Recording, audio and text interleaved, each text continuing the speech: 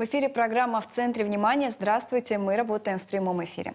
И герой нашей сегодняшней программы выложил дорогу к мечтам лепестками роз и не прогадал. В студии мальчик, который своей смекалкой заработал на велосипед.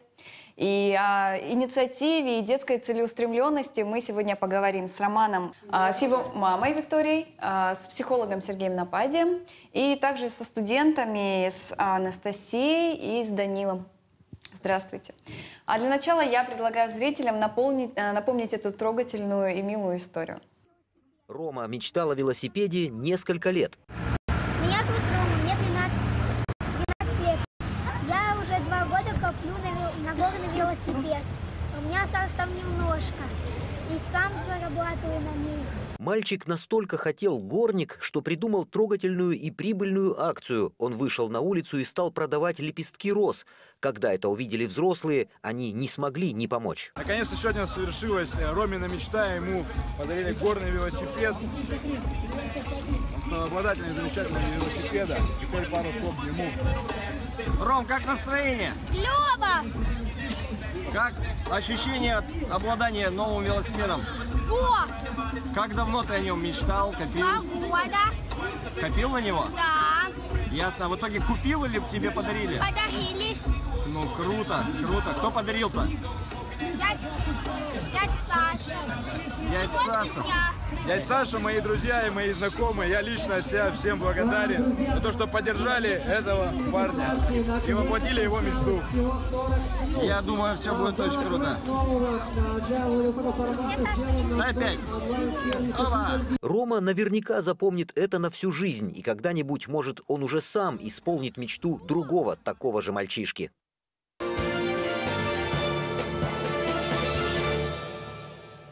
Рома, ну ты знаешь, что ты теперь в какой-то степени народный герой, что люди тобой восхищаются. Как ты справляешься с этой славой?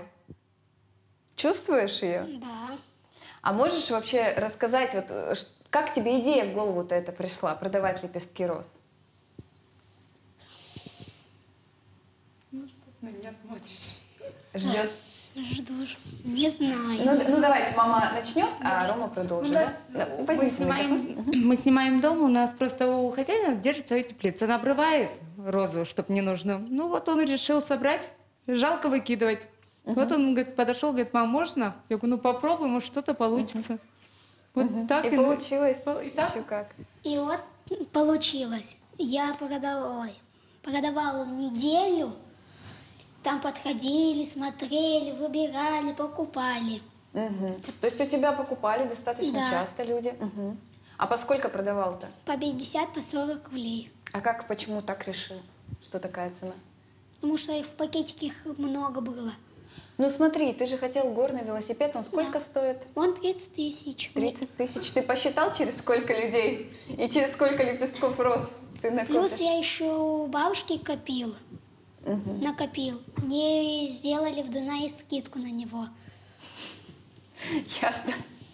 То есть все звезды сложились а, для тебя благоприятно. А чему эта история тебя научила? Как думал уже об этом? Еще не думаю только. То есть еще впереди. Ну, вы, как мама, как отнеслись к такой инициативе? Ну, в принципе, я не против. Я считаю, что когда дети работают с маль- ну, с- не с маленьких лет, ну, в дошкольном, это, в подростковом периоде, я считаю, что это достаточно нормально. Что сами начинали рано работать. Я к этому отношусь хорошо. Мгм. Я думаю, его даже поддержаю. помогли, да? Да, конечно. Рядом с вами сидит Сергей, он как раз работает э, с подростками, с профориентацией. Я думаю, что ему есть что добавить по поводу того, э, как важно ребенку вовремя понять, чем он хочет заниматься и что все в его силах. Я скажу, что важно понять вообще, в принципе, что он хочет. Вот Рома красавчик, потому что он, во-первых, решил, что ему нужен велосипед. Ну Вот. И он не стал... Ну, то есть он, естественно, обратился к родне сначала. М, Родня помогла, чем смогла. А Дальше парень решил озадачиться, а чем я могу сам. а, себе помочь. И вот эта постановка вопроса, что я могу сделать сам, вот это умение посмотреть вокруг, посмотреть, какие ресурсы а, подвластны тебе, это замечательно. И он, может, еще сам, Ром, не совсем все понял, но мне кажется, сегодня вечером он ляжет, помечтает такой, проанализирует эти все дела а, и подумает о том, что можно еще придумать. А, Ну, то есть может быть, все-таки это будет целое направление цветочного бизнеса. Может быть, а, это будет ну, что-то связанное именно с велосипедом и с гонками. А, Задача нас, специалистов по профориентации, психологов, задача родителей – это вот сейчас вот этот замечательный интерес и такую а, классную ситуацию успеха, когда на Ромку поддержали, эту ситуацию не остановить, типа, ну все, а найти дальнейшую какую-то э, перспективу и помочь э, совершенствовать свои вот эти предпринимательские навыки, потому что, ну, это, естественно, шикарно, когда э, паренек э, делает что-то полезное для себя. Вот. Я думаю, он подает пример другим, потому что эта история действительно очень сильно растиражирована была а, в соцсетях, а, в некоторых СМИ. У нас есть звонок. Здравствуйте, мы вас слушаем. В чем ваш интерес? Алло, добрый вечер. У меня э, вопрос к Роме. А, Ром, от чего ты отказался ради мечты? Ну, может быть, сладости какие-то. В чем ты умерил свои аппетиты для того, чтобы ну, достичь своей цели? Или не было такой экономии? Понял вопрос, да? То есть пришлось ли тебе экономить, скажем так, от- да, на себе ради велосипеда? Не было. То есть, принципе, все оставалось как есть, да, только дополнительно. Ну а как же, а, допустим, твои друзья пошли гулять, а ты пошел на работу, так сказать? Вот этим ты не пожертвовал? У меня пока тут друзей нету. Ну, в смысле, а одноклассники, например? Нету. Я Просто в- он временно жил у бабушки, поэтому мы А. только забрали его сюда, и пока нет еще ни одноклассников, ни друзей. Все, поняла. Мгм. То есть, в принципе, у тебя было свободное время, ты решил, почему бы его не потратить так? да. Мгм. Ну, здорово. А получается, за сколько дней ты собрал нужную сумму или тебе подарили в конце Мне его концов? подарили То есть, сколько дней ты продавал? неделю. Неделю. За неделю не было такого ощущения, что вот, ну, устал уже, может быть, не пол... все время верил, да? Да. значит? А, Сергей, а, хочу еще вот такой вопрос задать. Много ли а, среди сейчас молодежи таких а, подростков, которые целеустремленные, действительно добиваются своей мечты? Вообще, на сегодняшний день даже есть некая мода на предпринимательство, а, есть э, целые движения, как на уровне нашего города, а, клубы «Примбиз», клубы миллионеров, а, есть бизнес-молодость, э, ребята да, в Москве, которые а, вот этот предпринимательский дух стараются развивать молодежи и объяснять, что э, зарабатывать деньги – это, во-первых, нормально, не стыдно, и здорово, если вы а, людям делаете что-то полезное, а в Даже ответ... с- ну, да. Даже с малых лет, тем более. Да, дес- ну, и это, это замечательный возраст, 13 лет, и много ребят в возрасте Ромы, они пытаются уже там создавать свои аккаунты в Инстаграме, пытаться продавать какие-то вещи там с Я Алиэкспресса. думаю, скоро мы увидим Да. в Инстаграме такой аккаунт. Продаю лепестки, коплю на яхту. Да, Ромке, мне кажется, нужно еще проконсультироваться просто а, с предпринимателями чуть постарше, и они подхватят его дух, это, это здорово. Я надеюсь, что они нас сейчас смотрят. Кстати, зрители тоже могут принять участие в обсуждении. У нас работает голосование. Вопрос такой, нужно ли работать подросткам? Первый вариант а, – нет, наработаются еще. Второй вариант – да, чтобы знать цену деньгам. И третий вариант – сейчас лето, а, пусть отдыхают. И здесь у нас есть представители уже студенчества, которые этот период, так сказать, прошли, да?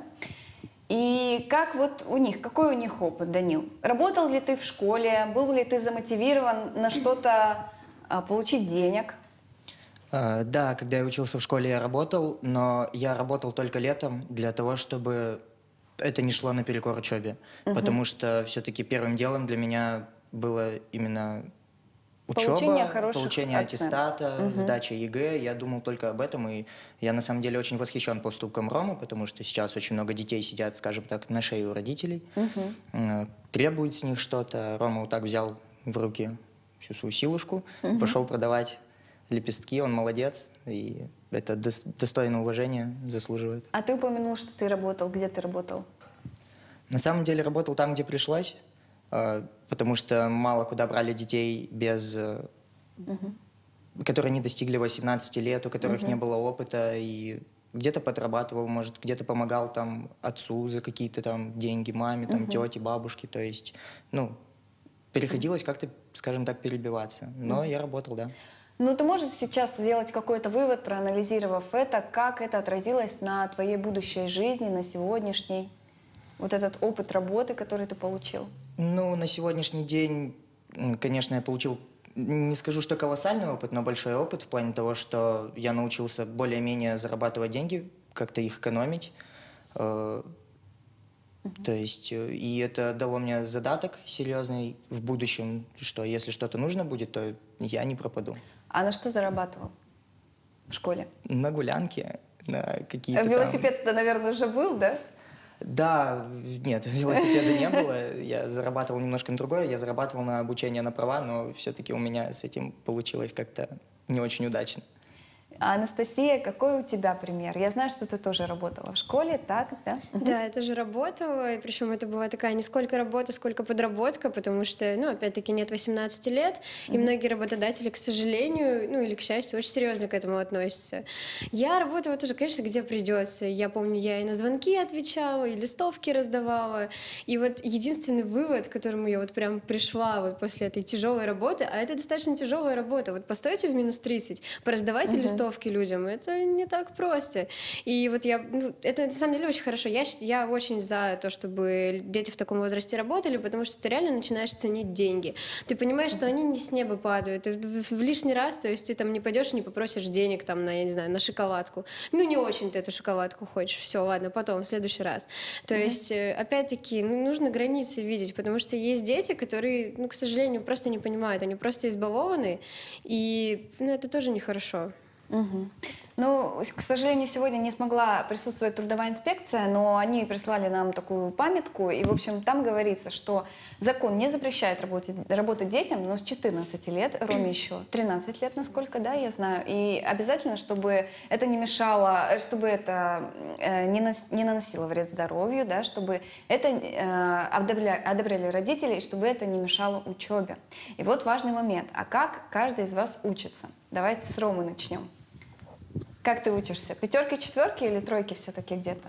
Есть тройки, есть четверки. То есть тройки есть, да? А ты знаешь, что есть история миллионеров, которые учились на тройке, а потом стали богачами? Не слышал про таких? Не знаешь? Нет. Вот мне кажется, сейчас такая тенденция, что не станет ли это а, руководством к действию для многих подростков, что а зачем мне учиться? Я же могу вот выйти, заработать в таком юном возрасте. Сергей, как ты считаешь?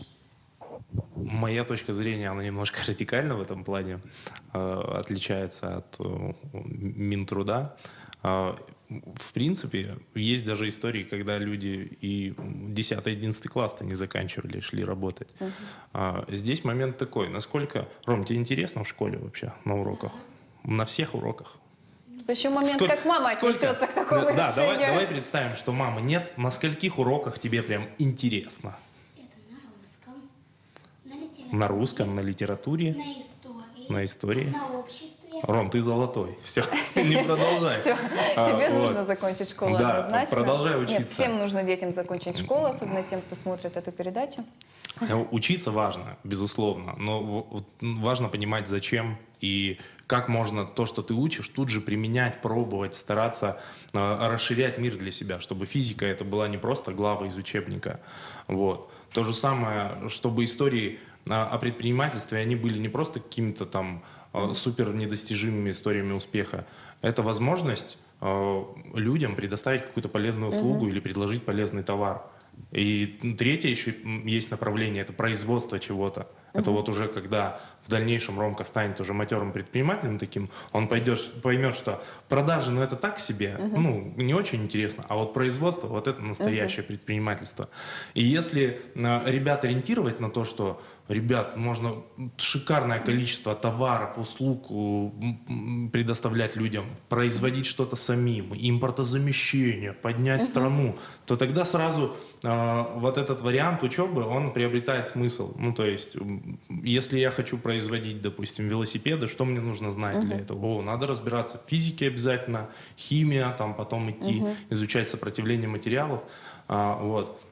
Поэтому такая перспектива, она важна, и опыт такой тоже важен. Мгм. Анастасия, а твой опыт э, в раздаче листовок, как он тебе помог в жизни? Да, если честно, никак. Ну, то есть именно у как Ну, только в жизни, только сторона. финансовая сторона, да. Но я вот тоже в 13 лет, я работала контролером в парке, и это было не совсем законно, поэтому я не скажу, в каком парке. Вот. Э, Но я работала, и график был ну, достаточно жесткий, то есть с 9 до 9, это, то есть, ну, серьезное предприятие. И вот это вот в жизни, конечно, помогло доста- достаточно уже серьезнее, потому что, ну, ты понимаешь, что вот ты приходишь на работу к 9 часам и уходишь ты уже, то есть после закрытия, что вот после того, как вы там все замыли. И, конечно, это, не знаю, это серьезнее делает намного человека, потому что ты уже понимаешь, что жизнь-то оказывается не такая легкая, как ты думал раньше. Ну и в этом вот, в этом вся прелесть просто. То, что ты понимаешь, что вот ты, тебе что-то нужно, и ты можешь пойти и заработать на это сам. А что ты хотела получить в этом возрасте? Ну, Айпад я хотела. Получилось? Да, получилось, да. Здорово. У нас есть звонок. Здравствуйте, мы вас слушаем. Какой у вас вопрос? Здравствуйте. Здравствуйте. А можно задать вопрос Роме? Конечно, как он да. бабушку и как он жил у бабушки? А? Еще раз можно?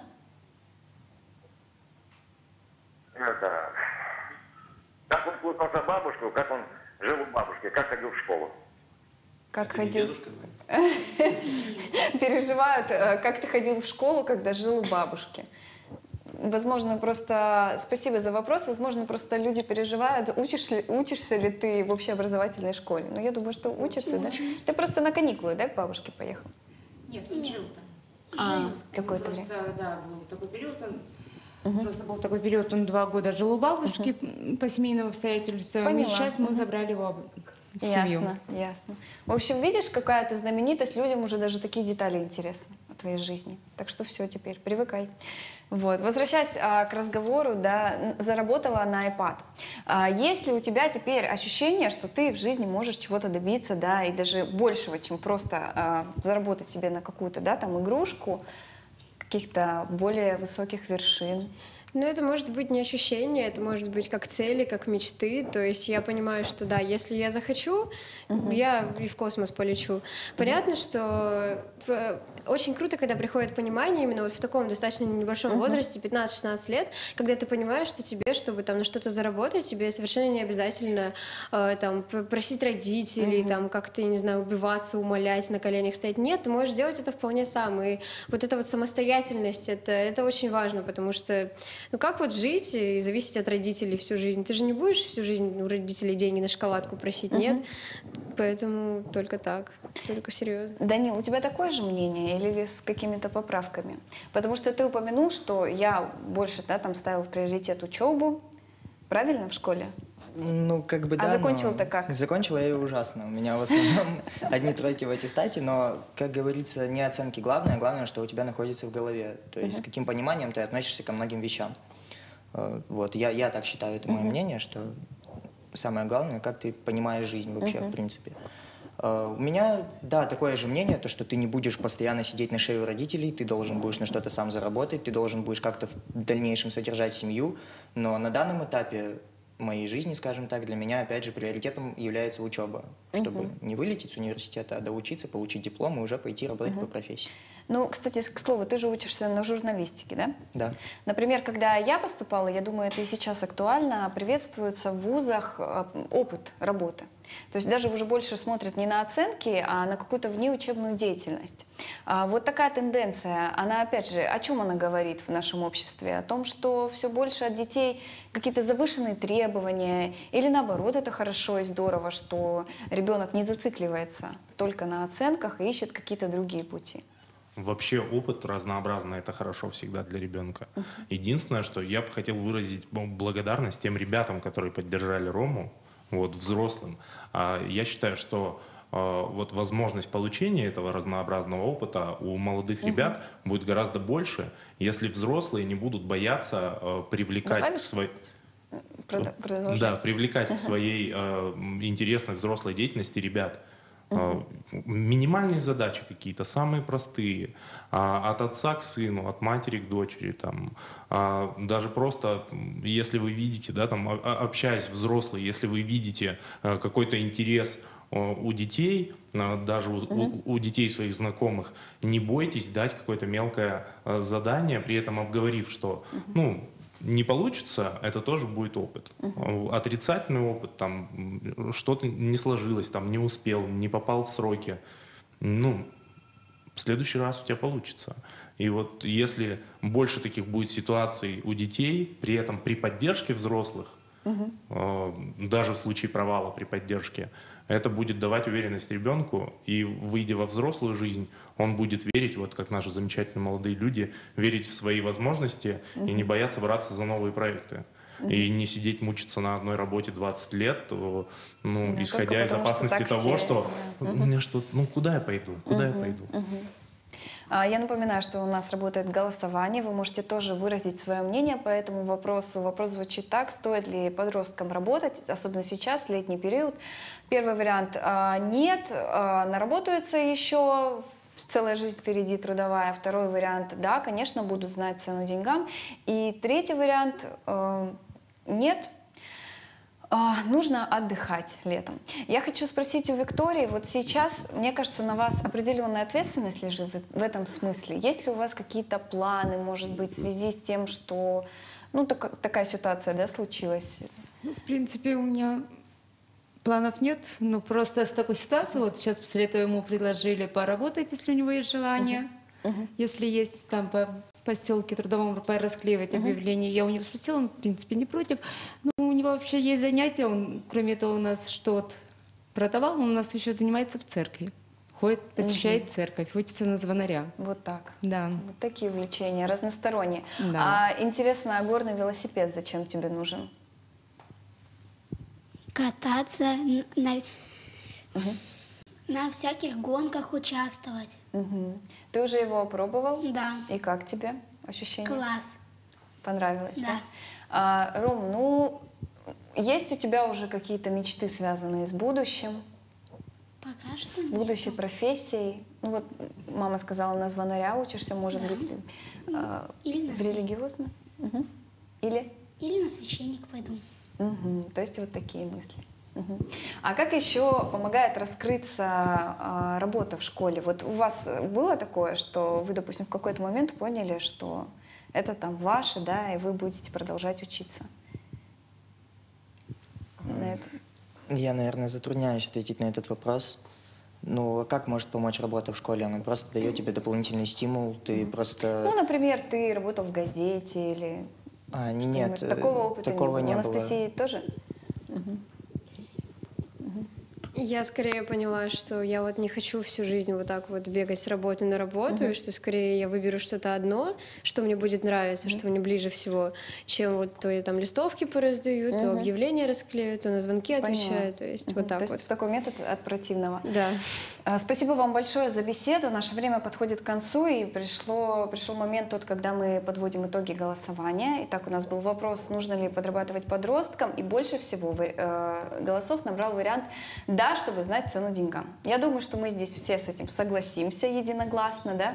А, Меньше, чуть меньше голосов у «нет» наработаются еще. В принципе, эту точку зрения тоже можно понять. Сейчас лето, Отдых тоже должен быть, да, Рома? Ты отдыхать сейчас, наверное, будешь, да, вовсю кататься немножко, да, отдохнешь от этой, скажем так, деятельности. И летом надо отдыхать, э, меньше всего вариантов. Вот. В общем, спасибо огромное за беседу. Я надеюсь, что родители и дети которые сегодня нас смотрели, действительно что-то почерпнули отсюда. И, может быть, скоро мы узнаем новые истории успеха и новые мечты, которые сбылись. Спасибо.